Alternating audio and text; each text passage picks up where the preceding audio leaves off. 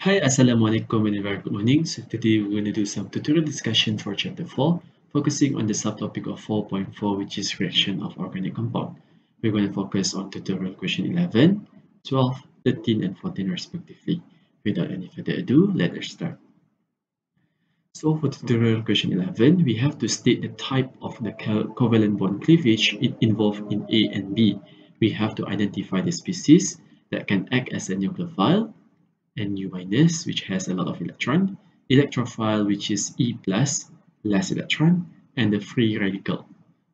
Okay, and for the A part here, we have bromine molecule produces Br free radical and Br free radical.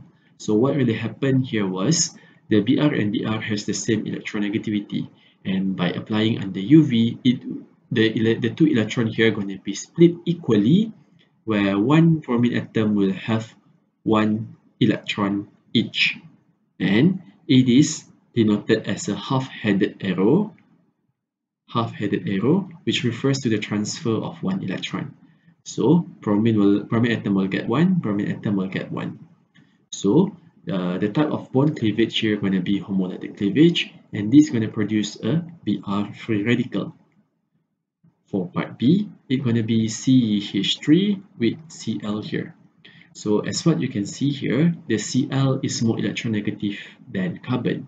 So it's going to be an heterolytic cleavage where both of the two electrons going to be transferred into chlorine atom.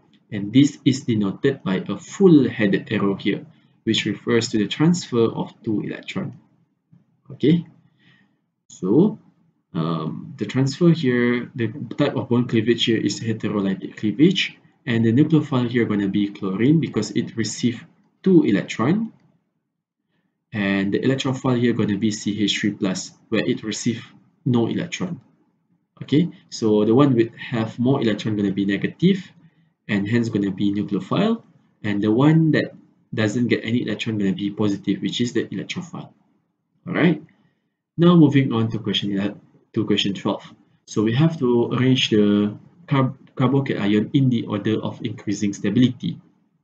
So carbocation ion is a basically a positive uh, charge carbon and in order to arrange them in terms of stability, uh, we're going to say that uh, the most stable one is the one which has more alkyl group so alkyl, alkyl group here mean carbon chain. So more stable will have more alkyl group. So in this case, I can say that here is the most stable. Here going to be the most stable, number one. Because the carbon plus here is attached with 1, 2, and 3. So it going to be the most stable. Number 2 going to be here because the C plus here attached with two carbon. Here, one, two, three. Okay, and this is second most stable, and the third most stable going to be here. Okay, because the carbon here, which is C plus, is attached with hydrogen, is attached with hydrogen. So it's going to be attaching with one carbon. Okay, and the least stable here is here, this one, number four because it doesn't attach with any um, alkyl group. Okay? So uh, we can we can arrange them first. So we can say that this one is going to be number one most stable. Here going to be number two. And here going to be number three. And here going to be number four. So this one is more stable than this one. This one is more stable than that one. And this one is more stable than that one. All right so the explanation for this is um, the alkyl group are the electron donating group that will stabilize the carbocation ion. So the more the alkyl group, the more stable is the carbocation ion.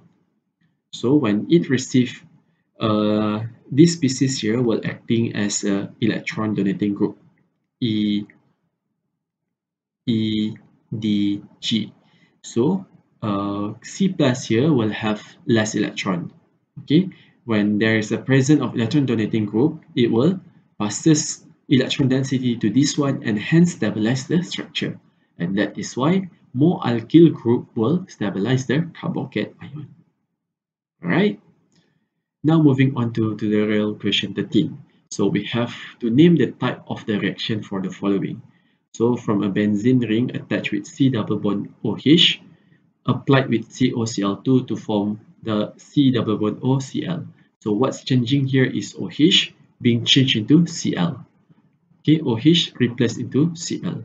So what you can see here, it is a substitution reaction because it is being replaced.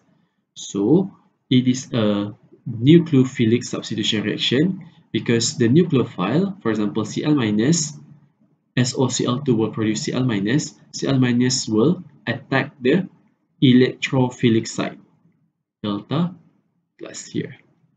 And OH going to be removed out. So this is known as the nucleophilic substitution. For this part, uh, C, which is CH2CH2, which is an alkene, H2O is being added into the alkene here, to the system here. So as what you can see, H will going to be added here to become CH3 and OH going to be added here. So it's going to become CH2OH. So you know that it is an addition reaction. Alright, but uh, this is known as the electrophilic addition because here is the nucleophile. Okay, the nucleophile has a lot of electron density. So it's gonna attack the hydrogen and OH.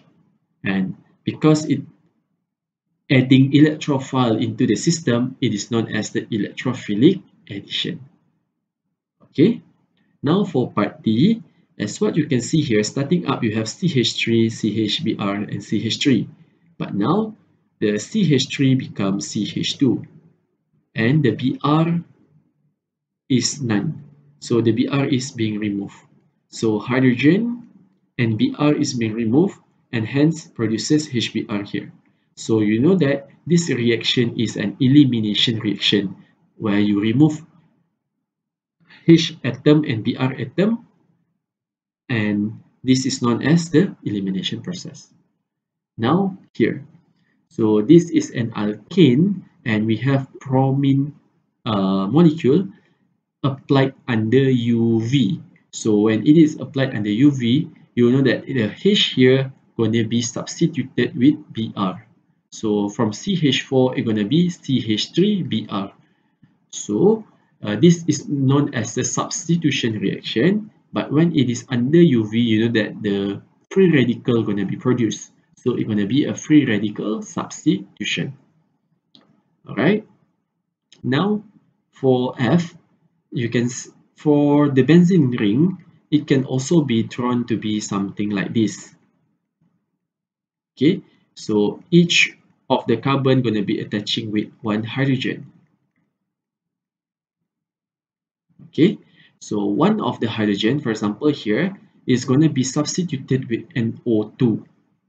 So you know that it is a substitution reaction because the hydrogen is being replaced with NO2. Okay, and it comes from the nucleophilic side attacking the electrophile. So electrophile is being added. Hence, we can say that it is an electrophilic substitution and the aromatic comes from the aromatic ring. So electrophilic aromatic substitution. Right? Now we're going to do tutorial question 14. Based on the reaction scheme below, state the type of the reaction corresponding to step A, B, and C. So first we have alkane applied under UV and the alkene here from the CH3 it becomes CH2Br. So you know that one of the hydrogen is being replaced with Br. Okay, so you know that it is a substitution reaction. When it has a UV, so you know that it's gonna be for it gonna form a free radical. So it's gonna be a free radical substitution reaction. Alright, now for part B, from an alkene, it, it form an alkene. Okay, So you know that some of the substance here are being removed. So for B, it's gonna be elimination reaction because you're gonna remove H and also Br. Okay, so the position here is a bit weird because it's gonna be eliminated and it's gonna rearrange. So it's gonna be this type of alkene. Okay. Uh, and for part C, you know that HBr is added again. So Br here gonna be substituted on the this side and H gonna be substituted on that side. So it's gonna be CH2 and CBr. Okay, so this is gonna be an addition reaction which is an electrophilic addition reaction because it starts from a nucleophile. The nucleophile attack the electrophile. So electrophile is being added into the system and hence it is known as the electrophilic addition. Okay, so the process of B and C, you will learn more in the next chapter. Alright, so I think that's all for today's video. See you again some other time. Bye!